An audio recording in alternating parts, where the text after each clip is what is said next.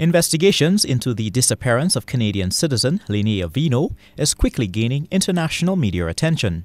Local police officials say they have been in communications with Canadian media houses as the search continues. Superintendent of Police Sylvan McIntyre of the Community Relations Department says the search efforts has intensified and has gone beyond the shores of Grenada. McIntyre says no stone will be left unturned in the quest to resolve what he called this unfortunate incident, which he says does not look good for the island, known for its tranquil atmosphere. He said the Community Relations Department has set up a press desk to update the international community. As I indicate again that we're also having interest from the international community. The Canadian media houses have been in touch with us.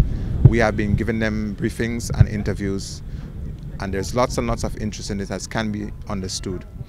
We'd also want the general public to know and the international community that a press desk is established at the Community Relations Department and persons can call us. I'm in contact, consistent contact with the, the ACP in charge of crime and the Commissioner of Police.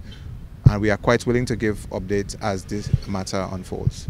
Superintendent McIntyre said the case is still being treated as a missing persons case. Do have some physical evidence that has been collected from the scene and are currently being analyzed.